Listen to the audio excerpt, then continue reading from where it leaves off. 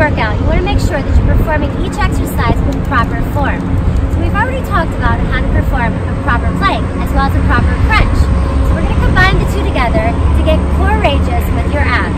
So let's get right into how to perform this workout.